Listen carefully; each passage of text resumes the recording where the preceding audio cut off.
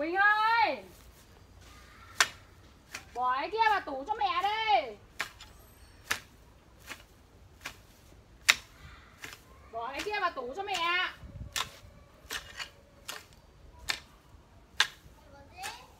Bỏ cái kia vào tủ cho mẹ!